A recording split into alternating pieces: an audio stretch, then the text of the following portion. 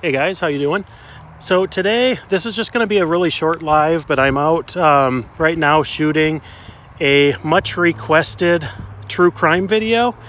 And I just wanted to give a really quick live just because coming to places like this, it's it's kind of interesting because of the history of it and all that. But the video that I'm doing today is it's a little bit hard to do, but it should be out later this week with any uh, with any luck. But I'm going to show you just a really quick um, view and just kind of a, a really short snippet to show you what, uh, what some of the videos are coming. But right now I'm in Plainfield, Wisconsin at Plainfield Cemetery. And if that doesn't mean anything to you, there was a horrible man that in the 1950s um, turned this town upside down.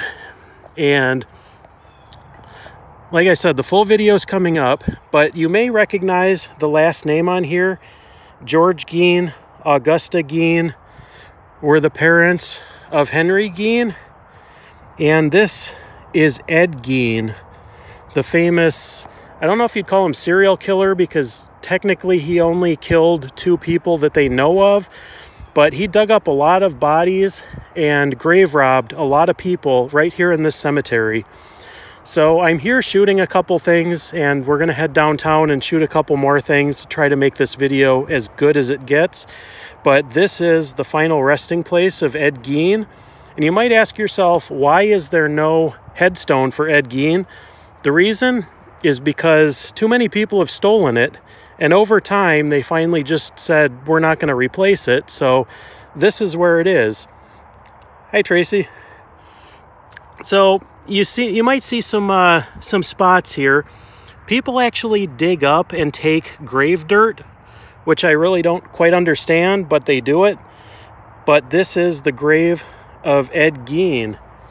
So keep an eye out for future videos. There's going to be a good one coming up from this location this week, probably. Um, I'm going to have to edit everything together, but I just wanted to give you guys a quick live look of what things look like out here. And uh, yeah, I'm out there trying to get some good stuff for you guys and to put together good videos. And there's going to be a lot of good stuff coming up, guys. So I just wanted to give you this quick preview, say hello to everybody, and to wish you all a good weekend. So take care, everybody, and we'll catch you soon.